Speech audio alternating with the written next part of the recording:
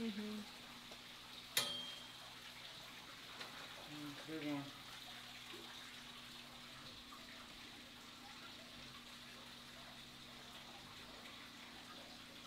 It's my boy.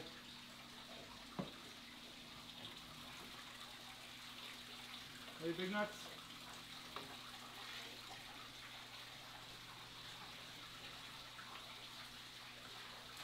Okay, take that off.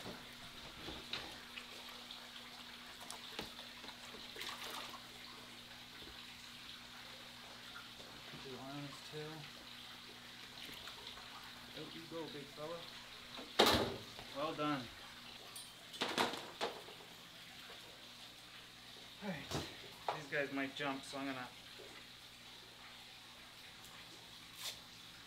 put the lid on, taper closed.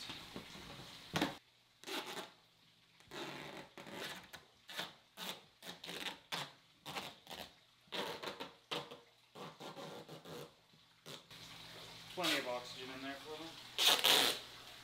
This isn't airtight either. I'm not worried about water splashing out. I'm worried about the rays uh, popping the lid off. Put a black bag over this to offer them some shade. Security, really.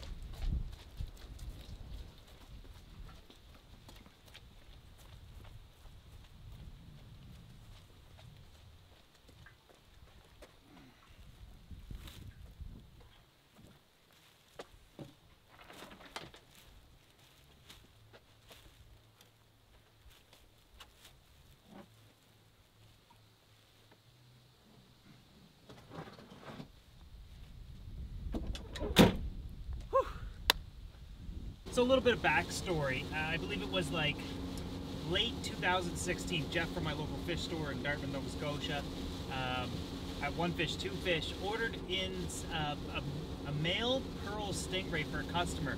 Months later, the customer never showed up. I was in the store one day. I noticed the ray, and being an experienced ray keeper, and a lot of the employees simply were not. They wouldn't wouldn't have been able to spot what I was seeing. I see the hip bones of the ray, dented forehead. The ray was becoming emaciated, basically uh, slowly dying. I told Jeff, I was like, I'm gonna buy this guy, um, basically rescue him, nurse him back to health.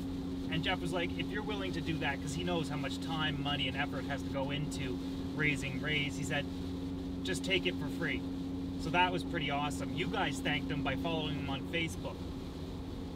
Six months later, and I believe it was like August 2017,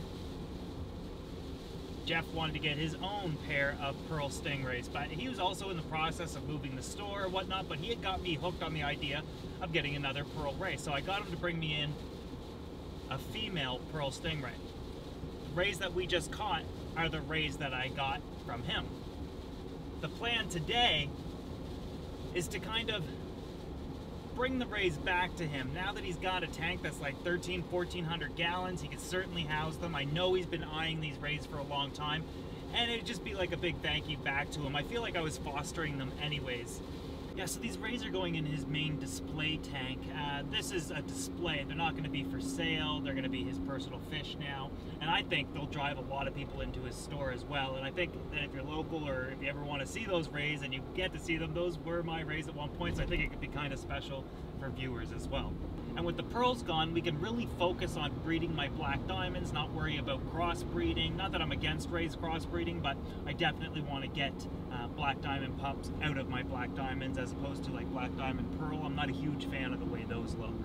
But if I don't move those pearls out and these guys are to breeding size now, it's going to happen.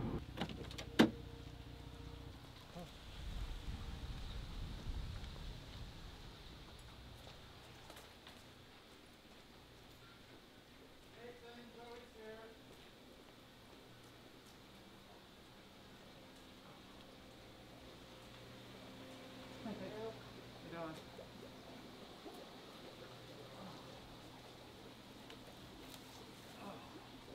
Alright, so this is going to be their new home. It's 11 feet long. I think it's 5 feet front to back. And then, damn, it's got to be at least 3 feet tall.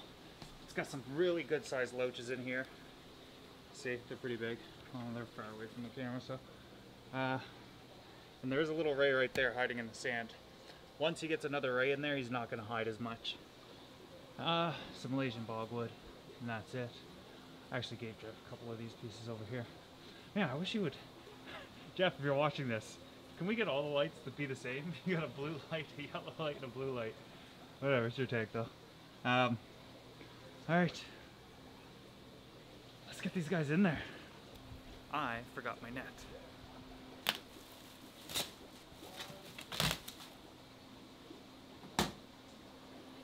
See though? Yeah. Awesome. Oh, this one's perfect.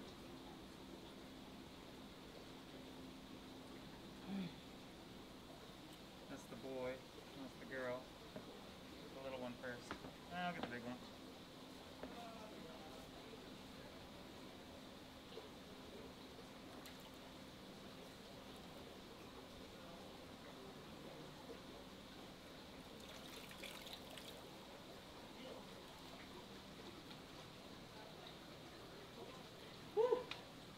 Gonna look good in there.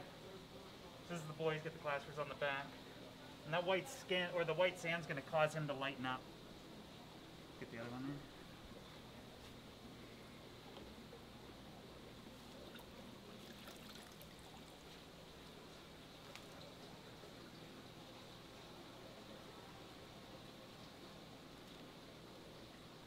Yeah, so technically these guys are going to end up looking a lot better in this tank because of the white sand. They will lighten up. We'll be able to see their patterns a lot better. Uh, they they not only have the circles here, but it's all striations throughout the between them. And as you can see, they've already uh, adjusted quite well. No need to drip them. Um, basically, it was a temperature change. Uh, They were only in the car for about 45 minutes, an hour, so nothing too much that I'm worried about. And as you can see, he's not even breathing heavily. The girl went to the back, but she tends to be a little bit more shy. Then they got this little front here that they're to have to enjoy and meet here shortly as well.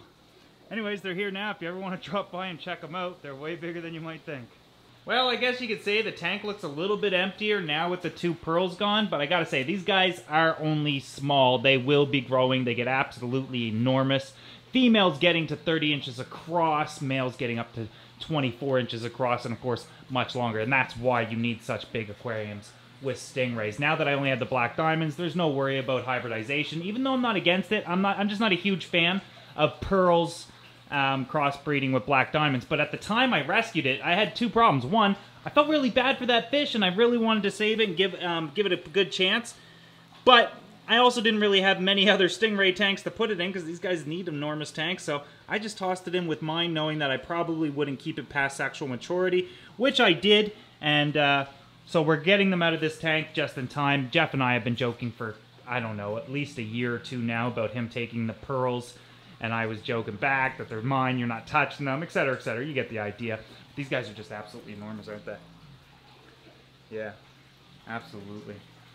I think um, with the pearls gone, everybody's going to settle in, and things are going to pick up in this tank in in in, in terms of activity and whatnot. Everybody's just kind of a little bit nervous right now, but. Uh, yeah, hope you guys enjoyed the video. Um, I think it was a great story to tell in terms of, you know, three years in progress where I um, kind of rescued the first one, bought another one, um, and then kind of gave them back to Jeff at his store. And now I can focus on what I initially purchased and what I initially wanted to keep and uh, go from there. I hope you guys enjoyed the video.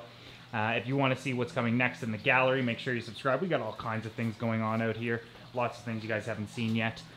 So make sure you subscribe if you're not already. See you guys in the next video.